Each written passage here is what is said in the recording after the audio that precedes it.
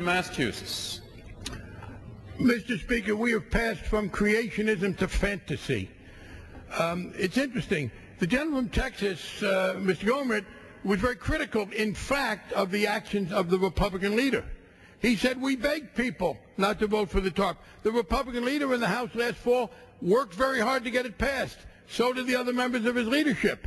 And now uh, he's being denounced for that. So I guess he broke even on his side, which these days, if you're in the minority, may be a pretty good day. But the fact is this.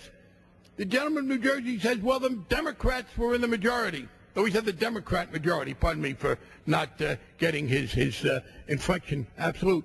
Yes, the President of the United States, George Bush, came and asked us to do this, and his two top economic advisors said, if you don't do it, there'll be a crisis. But in fact, that's not directly relevant to the AIG issue.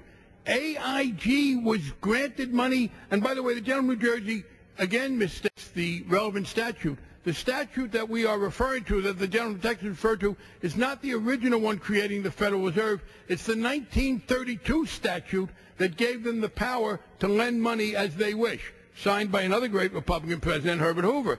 But the point is that it was the Republican administration that said we had to do this. Yes, there was cooperation. The Republican leadership in the House, a majority in the Senate, believing that there would have been a terrible problem if it wasn't there. I do want to reiterate that I am now pleased as chairman of the Financial Services Committee that there is this interest on the Republican side in restricting compensation.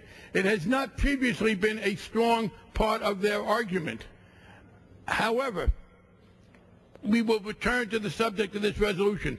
The resolution isn't binding, but it is the forerunner of what will be binding.